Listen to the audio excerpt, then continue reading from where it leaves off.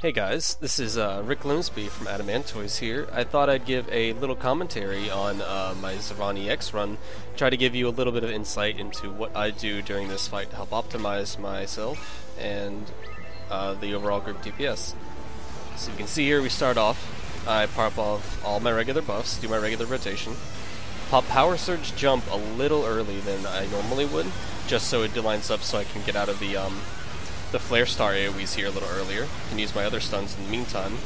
Move over out of the group. We bait those over at the top right corner. Leave some room for the Black Mage way at the back. You can see we do quite a lot of damage here, running a really uh, non-standard comp. Got three Dragoons, a Bard, and a Black Mage. Already got it down to 82% before the third platform falls. Really cool stuff there. But yeah, uh, our Dragoon dies here. I'm not exactly sure how. I'd have to rewatch the footage.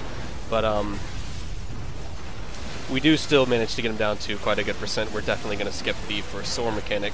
Platform falls. I'm able to refresh my Blood of the Dragon right at the end there. And just wait for him to become targetable again, spamming my heavy thrust. As we like to do, get my stun off, go immediately into my regular rotation. We do a little bit of a non-standard thing here. We have the boss face the south instead of the north. Uh, in this kind of scenario, you usually will have the tank run all the way through, since the party tends to spawn at the back, at the south during this position. But we did it differently here. Uh, we get we do skip the soar. We get the ice petal to fall down, just waiting out the biting halberd. Regular rotation stuff happening during here. A lot of downtime in this fight. Uh, we get the biting halberd to run over it here. I do get stuck in the puddle for just a second, but everybody makes it out okay. We wait here to bait out the Southern Cross. Everybody moves clockwise, except for the tank, who runs counterclockwise, and that goes smoothly. Once again, just regular rotation stuff, waiting for the adds to spawn. Getting the cyclical mechanic, so everybody just stays still. Now that mechanic can be one of three things. It will be that cyclical, it can be tail end, which you have to run out to the end for, or it can be another biting halberd. So we know the the adds are going to first spawn at the north, so I run straight there, do some AoE stuff, get off, get off the Chaos Skogul right there, get my uh, Blood of the Dragon back up, and then regular rotation, get them all down pretty quick. I rotate clockwise to the first wit, the other Dragoons join me, and we're DPSing that down pretty quickly. Not much else to say about that, but we do get it down, and the fear goes off. I back, I jump just to get in position quicker, and then we continue to DPS down like normal.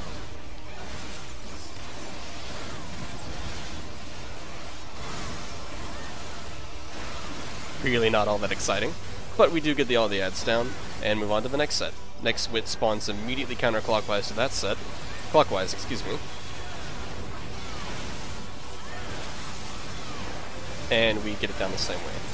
I actually make a bit of a mistake here. I um I popped my uh my regular buffs like Blood for Blood and, and uh, Internal Release. I actually normally use those on the second set. I was using a bit of a uh, of a different rotation than normal because of the three Dragoon comp. I was using Litany in different places.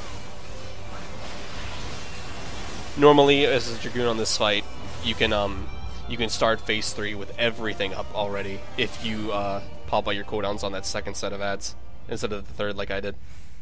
Bow to my infallible judgment.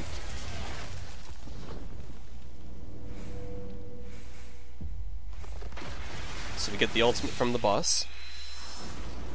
Leaves everybody at about half. Either pops out with a medic at 2, gets all of us back up. Either is facing the A target again, and we all stack up towards the back to get ready for the tether mechanic. Now what you see me us do here, we kind of spread out just a little bit to uh, see who has what.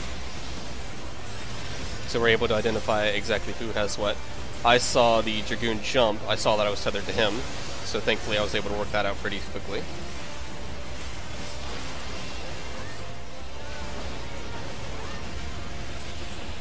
So we stay in position here for Southern Cross. The tank comes over to join us. Once again, the tank runs counterclockwise, we run clockwise. And then you can see me start to kind of put myself into position. I want to wordlessly, like, tell my partner, hey, I want to go over this direction, as opposed to just like chaotically running around any which way.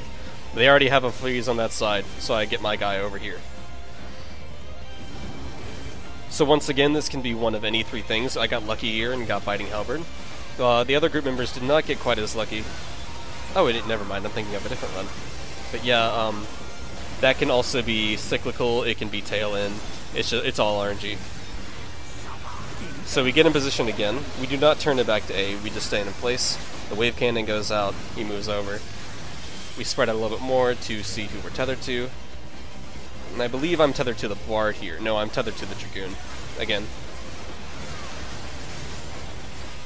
So yeah, we stand still, bait out the Southern Cross again, once it spawns.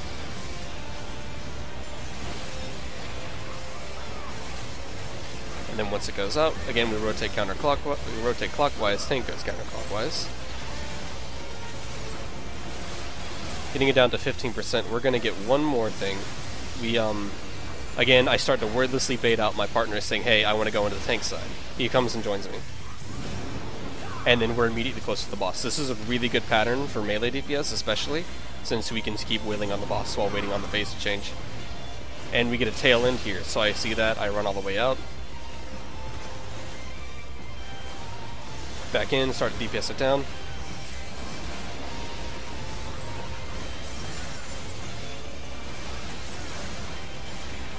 and then we're getting on the last sword. Now I do get a little bit greedy here. I try to LB2 the boss before he disappears, and uh, he does disappear. But thankfully, we did get an easier pattern, so we're able to adjust pretty quickly. I did get hit by this, but it wasn't enough to bring me down. I see that I'm low, but I, the healer's got us, so I stack in. It leaves me very low, but it is okay. A couple of our members die, but it doesn't matter, we're at 1%. The Demon's Claw does not matter. VLB2, we win the fight. And there you have it. That is my thoughts on Zurvan EX, my thought process. Let me know down in the comments if you want me to explain anything in depth. And that's about it. We'll see you guys next time.